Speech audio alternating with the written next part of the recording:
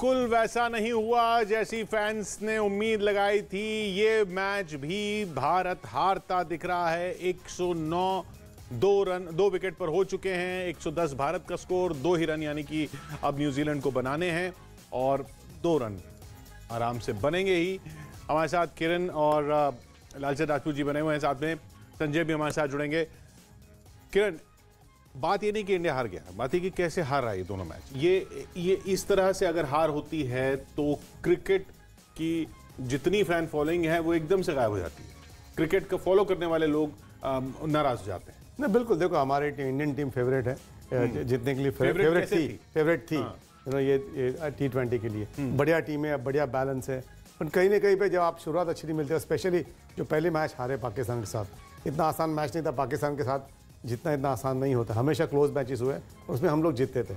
और मैच हार गए उसका दबाव इस मैच में भी देखने और मिला। वो भी क्लोज नहीं था। हाँ इसमें भी देखने को मिला और इसमें देखो चेंजेस जो आए बैटिंग में आपकी टीम के कॉम्बिनेशन में तो जो चेंजेस आए तो उसमें थोड़ा मुझे लगा थोड़ा सा हड़बड़ा गए। तो जब हड़बड़ा जाते हो तो, तो आपका ये प्रॉब्लम हाल होते हैं आप साढ़े चौदह ओवर्स में ही न्यूजीलैंड ने बना लिए चौदह ओवर्स तीन गेंदों में पंद्रहवें ओवर में ही मैच हार गया भारत और आठ विकेट से हार गया पिछली बार दस विकेट से हारा था। दो मैच में सिर्फ़ दो विकेट लिए हैं लालचंद जी। इस टीम ने दो मैच में सिर्फ़ दो विकेट ले पाई है। ये टीम ये फेवरेट थी कैसे? जी देखिए पहला मैच बहुत इंपॉर्टेंट होता है जो मोमेंटम करने का। आईसीसी मैचेस में सबसे इंपॉर्टेंट है कि आप शुरुआत कैसे करते हो। जब हम शुरुआत अच्छी नहीं की दस विकेट से हारे तो डेफिनेटली दबाव हमारे ऊपर था। और आज भी देखा हम आठ विकेट से हारे। तो पूरा वर्ल्ड कप में अभी दो मैच में हम सिर्फ़ दो विकेट लिए तो कहीं ना कहीं हमारी जो बॉलिंग अटैकिंग जो बॉलिंग हम कहते हैं, या विकेट टेकिंग जो बॉलिंग कहते हैं, वो नहीं है। तो हम लोग को उसके लिए ये करना पड़ेगा कि कौन हमारे विकेट टेकर्स है। दूसरी बात जैसे मैंने पहले भी कहा कि हम काफ़ी बैटिंग ऑर्डर से टिंकर करते हैं। वर्ल्ड कप स्टार्ट होने के पहले ही आपका बैटिंग ऑर्डर सेट होना चाहिए कि ये ओपन करेगा ये तीन number unless there is a injury then आप चेंज कर सकते लेकिन काफ़ी यू नो बैटिंग ऑर्डर में हर मैच में अगर आप चेंज करते हो तो कहीं ना कहीं प्लेयर्स के भी यू नो पॉजिटिवनेस जो होते हैं ना, और उनका जो आई थिंक यू नो मनोबल, वो भी थोड़ा सा प्रेशर में आते हैं। तो मुझे लगता है कि हम काफ़ी टिंकर करते हैं बैटिंग ऑर्डर से। ये batting order wicket taking bowler ना होना, संजय, हमारे साथ जुड़े संजय, क्या सिर्फ़ ये इतना ही है? क्योंकि देखिए 20 ओवर पिछली बार चालीस ओवर पिछली बार मैच हुआ, अभी 35 ओवर हुआ पंद्रह ओवर में जीत गया न्यूजीलैंड। पचहत्तर ओवर के इस मैच में एक भी ओवर तो ऐसा नहीं था जब इंडिया हावी रही। पचहत्तर ओवरों पे, चाहे पाकिस्तान, चाहे न्यूजीलैंड। जी हाँ आपने बिल्कुल सही कहा कि दो मैचेस में केवल दो विकेट्स ये बहुत ही एक डिसअपॉइंटिंग रिज़ल्ट है। तो सिंपल अगर आपको असेसमेंट करना है एनालाइज करना है तो देखना चाहिए कि एक अच्छी टीम खराब खेली है या खराब टूर्नामेंट रहा है। या ये टीम जिसमें कमजोरियाँ थी थोड़ी सी ढक गई है वो एक्सपोज हो गई। तो ये दो चीज़ें देखनी पड़ेगी क्योंकि दोनों बहुत बुरी हार हारे हैं भारत के लिए।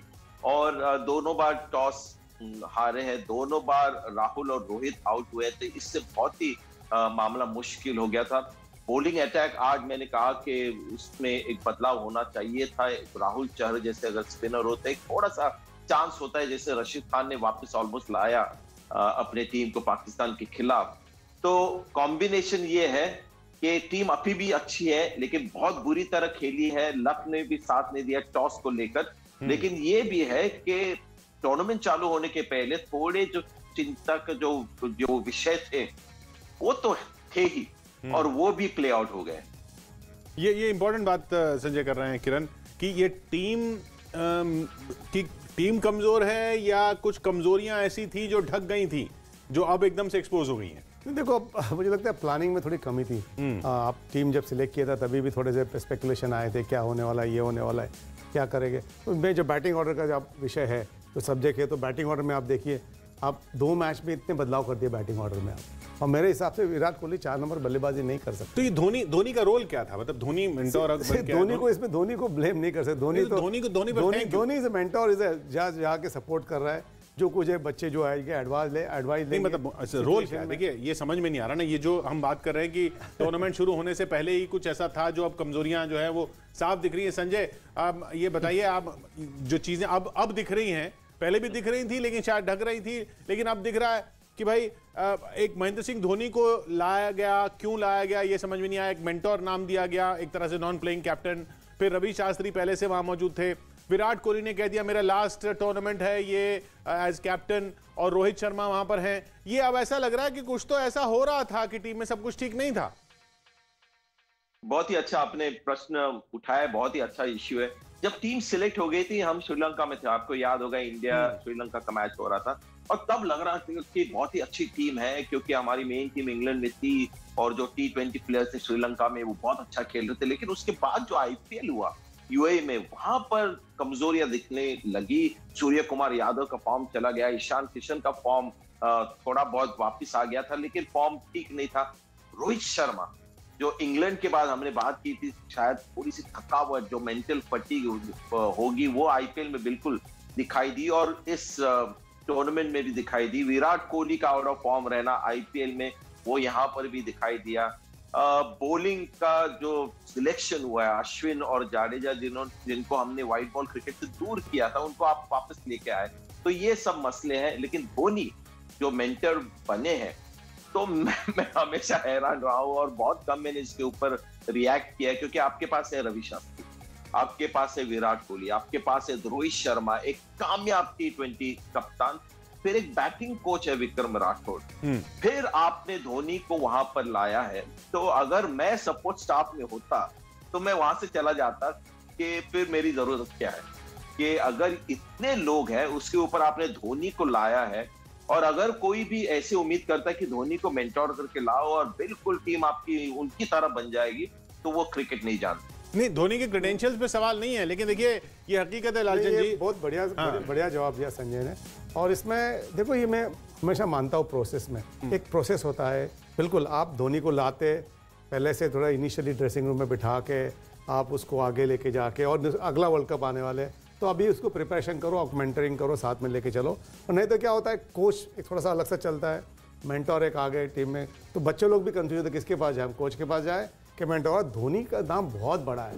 तो मैंने देखा पूरा फोकस रवि शास्त्री से होकर पूरा धोनी पे चला गया। आप जितना मीडिया फोटोग्राफ देखे कोई भी लड़का धोनी के सामने जाके खड़ा रहा है और धोनी के साथ इंटरेक्ट जा रहा है। तो आपके पास जो मेन कोच है वो मेन कोच के पास कोई नहीं जा रहा है। नहीं और ये और ये हकीकत है लालचंद जी कि अगर अगर अगर ये जीत रहे होते ना मैच या हम यहाँ पे खड़े होकर बात कर करो देखो धोनी डगआउट में नहीं मैं नहीं बात करता। नहीं नहीं नहीं पब्लिक बात कर रही होती हम का मतलब पब्लिक बात कर रही होती कि धोनी डगआउट में है तो धोनी को बहुत क्रेडिट जाता धोनी धोनी ब्रिलियंट है सब कुछ अच्छा है। पर इसमें धोनी को ब्लेम भी नहीं कर सकते इसमें कुछ नहीं पर जब धोनी को क्रेडिट जाता है हम खुल के दिल खोल तो के लोग तो देते हैं तो ब्लेम क्यों नहीं कर सकते? मीडिया मीडिया देखो मीडिया के पब्लिक जाती है पब्लिक बोलती है हम क्रिकेटर है ये हाँ। हमारी सोच है हम लोग नहीं मानते ठीक कैसे है ना जैसे किरण ने भी कहा एक कोच का प्रोसेस होता है कि इतने टीम बनाने के लिए कि वर्ल्ड कप में जाने वाले हैं हमारा प्लानिंग क्या होगा एक प्रोसेस होता है।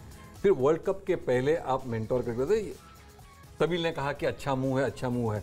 लेकिन जब टीम में काफ़ी लोग होते हैं ना तो बोलते हैं ना too many people spoil the ऐसा होता है कि किसके सुने? हम्म। रवि शास्त्री के सुने धोनी की सुने विराट की सुने या रोहित की so there are too many people around तो मुझे लगता है कहीं ना कहीं कि फिर टीम में जो कोहेजिवनेस है ना थोड़ा सा ना शिफ्ट होता है।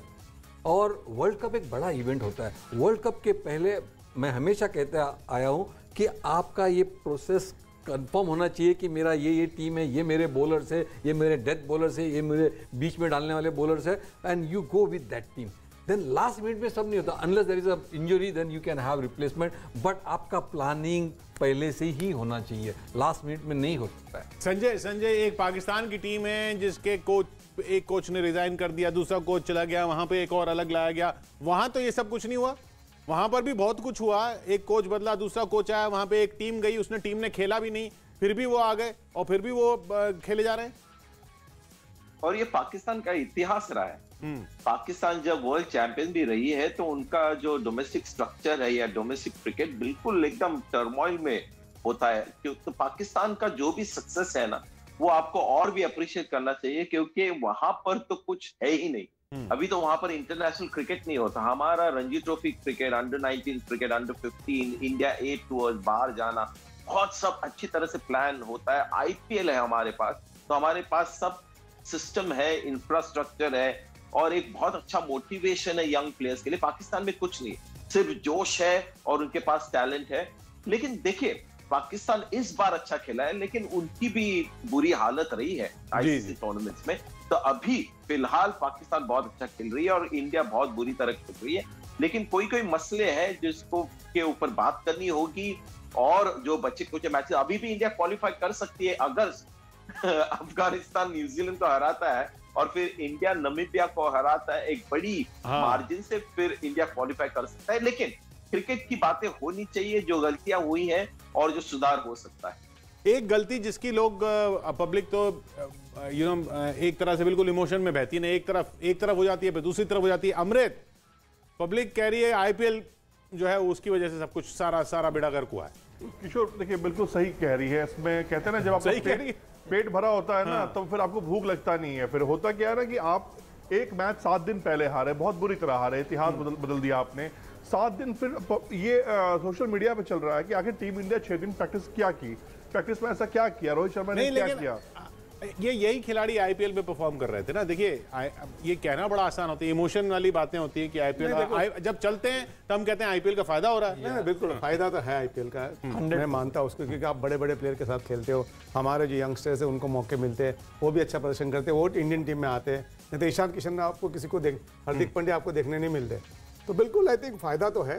बिल्कुल आज हारे हैं तो हम लोग क्रिटिसाइज काफ़ी लोग क्रिटिसाइज कर रहे हैं। मैं तो नहीं क्रिटिसाइज कर, करूँगा आईपीएल को क्योंकि क्रिटिसाइज करना है तो आपको आपने जो वर्ल्ड कप का प्रिपरेशन वो वो बहुत इंपॉर्टेंट है आपके लिए। वर्ल्ड कप एक अलग चीज़ है। आप आईपीएल भी है आपके साथ पर वर्ल्ड कप जब आता है तभी उनको ब्रेक भी मिलना चाहिए एक प्रोसेस होता है। जैसे लालू ने बात बताई कि आपको उस प्रोसेस में चलना पड़ता है। और एक साल में आप करके नहीं उसका प्लानिंग चलता है चार साल। चार साल के बाद आपको देखो एक टीम बनानी है अच्छी और उस पर भरोसा भी रखना है। शायद शायद संजय जो हम जो आपने बात कही ना ब्रेक में की या उससे पहले सेशन में की आईपीएल ठीक है सब कुछ ठीक है लेकिन आईपीएल की परफॉर्मेंस को इंटरनेशनल लेवल की परफॉर्मेंस से कंपेयर नहीं करना चाहिए। उन लोगों को इंटरनेशनल लेवल पे जब तक कोई परफॉर्म ना करे तब तक उसको उस तरह का कैपेबिलिटी नहीं माननी चाहिए जो आईपीएल में दिखती है। बहुत अच्छी बातें हो रही है मैं बहुत, मुझे मज़ा आ रहा है क्योंकि मुद्दे की बातें हो रही है। देखिए आईपीएल जैसे किरण ने कहा बहुत अच्छी टूर्नामेंट है। हमें गर्व होना चाहिए कि हमारे पास एक ऐसी टूर्नामेंट है। लेकिन अभी तक जो परफॉर्मेंस हमने देखी है और अभी तक आईपीएल जो पहला title world T twenty Bharat ने जीता तब आईपीएल नहीं थी। उसके बाद भारत एक टी ट्वेंटी टाइटल जीत नहीं पाया वर्ल्ड टी ट्वेंटी टाइटल लेकिन ऐसा नहीं है कि आईपीएल नुकसान पहुँचा रहा है। हमें आईपीएल की तरफ़ थोड़ा सा अलग देखना पड़ेगा। अगर इसी तरह की परफॉर्मेंस चलती रही जैसे रणजी ट्रॉफी होती है फ़र्स्ट क्लास क्रिकेट होता है उसी तरह आईपीएल को देखना चाहिए कि अगर किसी ने बहुत अच्छी वहाँ पर परफॉर्मेंस की है तो जी ये दावेदार है अंतरराष्ट्रीय टी ट्वेंटी खेलने के लिए लेकिन वहाँ पर उनकी परफॉर्मेंस देखी जाएगी। वरुण चक्रवर्ती की आप आईपीएल की परफॉर्मेंस देखिए और इंटरनेशनल की परफॉर्मेंस देखिए उसमें काफ़ी फ़र्क है। उनके ऊपर नज़र रखनी पड़ेगी। तो अभी हम जब बोलते हैं ना कि आईपीएल में इतनी शानदार उन्होंने बल्लेबाजी की इंटरनेशनल में क्यों नहीं? लेकिन हम रणजी ट्रॉफी के बारे में ऐसा नहीं कहते कि रणजी ट्रॉफी में उन्होंने सौ सौ रन बनाए वो इंग्लैंड में जाके इंग्लैंड के खिलाफ क्यों नहीं बनाता सौ सौ रन? तो ये जो थोड़ा सा डिस्टेंस है ना उसको अभी थोड़ा सा हमें रिस्पेक्ट करना यानी पोटेंशियल देखने के लिए वो वो ठीक। खैर अब अब आगे की बात कुछ स्लिम चांस है अमृत कुछ चांस है ना क, अ, ऐसा हो जाए तो ऐसा हो जाए तो ऐसा हो जाए तो इंडिया पहुँच जाएगा सेमीफाइनल में। वो क्या है कि मतलब अ, अफ़गानिस्तान को न्यूजीलैंड को हराना होगा वो तो पॉसिबल है वो पॉसिबल है। और इंडिया को नमीबिया को बहुत हैवी रन रेट से हराना होगा। स्कॉटलैंड को भी हराना स्कॉटलैंड को भी हराना होगा। और दुआ ये करनी होगी किशोर की भारत कम से कम अफ़गानिस्तान से जीत जाएगा मार्जिन से। हाँ। क्योंकि जिस हिसाब से टीम इंडिया खेल रही है मुझे लग रहा है कि एक टफ फाइट वहाँ भी देखने को मिल सकती है। हाँ, मतलब मार्जिन से 10 विकेट से अभी तो 10 विकेट से आ रहे हैं फिर 8 विकेट से आ रहे हैं। हमारे पास मार्जिन का है? अफ़गानिस्तान को भी हम लाइटली नहीं लेना चाहिए क्योंकि उनके पास भी अच्छे बॉलर्स है। ये टीम देख के तो ऐसा लग रहा है नमीबिया और स्कॉटलैंड को भी लाइटली नहीं लेना देखो टॉस बहुत इंपॉर्टेंट होता है। हाँ। कि अगर अफ़गानिस्तान से भी हम लोग टॉस हारे और अगर हम लोग पहले बैटिंग करें तो फिर और भी मुश्किल हो सकती है। लेकिन क्रिकेट में कभी भी हम प्रिडिक्ट नहीं कर सकते हैं। It's a game of uncertainty आपको पता है कब ऐसा लगता है कि कोई चांस नहीं है तब भी चांस मिलता है। हमें भी चांस है अभी भी जैसे कि अफ़गानिस्तान न्यूजीलैंड को हराए और हम तीनों मैच जीते। तो और भी और, और रन रेट के साथ। सो so, पॉसिबिलिटी है बट नामुमकिन नहीं है। बिल्कुल देखो किरण आपने 92 का वर्ल्ड कप खेला। नहीं नहीं। है? वो पाकिस्तान कैसे पहुँचा था फाइनल में? और कैसे जीता था? नहीं, देखो मौका मौका तो है अभी भी। पर अच्छा क्रिकेट खेलना पड़ेगा ऐसे ही। आप ऐसे क्रिकेट खेलोगे तो आप I we don't think I don't think India deserve to be in semifinals you know जैसे न्यूजीलैंड ने आज क्रिकेट खेली पाकिस्तान क्रिकेट खेल रहे हैं अफ़गानिस्तान भी बहुत बढ़िया क्रिकेट खेल रहे हैं तो साउथ अफ्रीका।